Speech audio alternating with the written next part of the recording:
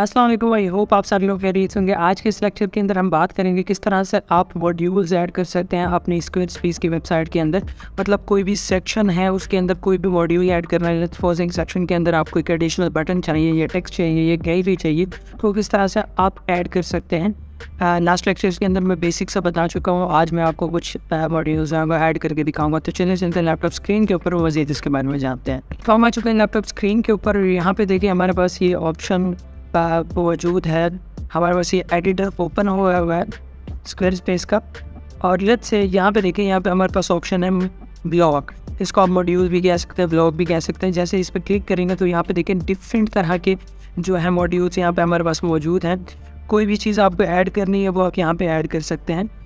Text add करना है image add करनी है ऑडियो ऐड करनी है। लेट्स सपोज़ मैं यहाँ पे एक ऑडियो ऐड करना चाहूँगा तो मैं इसको ड्रैग एंड ड्रॉप करूँगा। जहाँ पे भी मैं इसको ड्रॉप करूँगा, ये वहाँ पे शो होना स्टार्ट हो जाएगी और इसको मैं अगर कहीं और सिलेक्ट करना चाहूँ तो ये देखें विदन जो है, उसके अंदर ऑप्शन आपको नज़र आ रहा है। तो इसकी मज़ीद मैं इस पर क्लिक करूँगा और इसको मैं क्या कर सकता हूँ?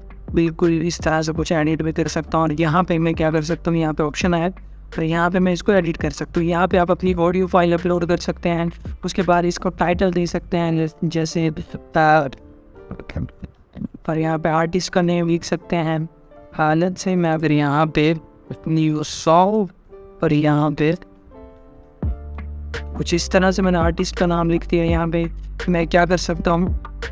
ऑडियो अपलोड कर सकता हूँ, उसके बाद यहाँ पे पॉडकास्टिंग है यहाँ पे मैं टाइटल समरी और सारी चीज़ें यहाँ पे कुछ एडिट कर सकता हूँ पॉडकास्ट से रेलिवेंट कोई भी डायरेक्ट व्यू यू आप दे सकते हैं, अगर फिर आपका पॉडकास्ट चल रहा है, उसका डायरेक्ट व्यू यू दे सकते हैं। और यहाँ पे हमारे पास जो है ऑप्शन है शो डाउनलोड फेबल लिंक अगर यहाँ पे आप दिखाना चाह रहे हैं कि लोग डाउनलोड कर सकें इसको तो वो भी आप दिखा सकते हैं। लेट्स सपोज़ मैं इस पर क्लिक कर रहा हूँ तो लोग इसको डाउनलोड कर सकते हैं। तो इस तरह से आप डिफरेंट तरह के मॉड्यूल्स आप यहाँ पे यूज़ कर सकते हैं। अभी के लिए मैं क्या करता हूँ, इसको सेव कर देता हूँ और यहाँ पे आप लोगों को दिखाता हूँ कि कितने सारे मॉड्यूल्स यहाँ पे मौजूद हैं। अकॉर्डिंग टू यर नीड जहाँ पे भी आप उसको ऐड करना चाहें, आप वहाँ पे ऐड कर सकते हैं। तो आई होप आपको समझ आई होगी किस तरह से मॉड्यूल्स होते हैं और किस तरह से उनको यूज़ करते हैं आप अपनी वेबसाइट के अंदर या किसी भी पेज के अंदर। बिल्कुल बेसिक सा काम था।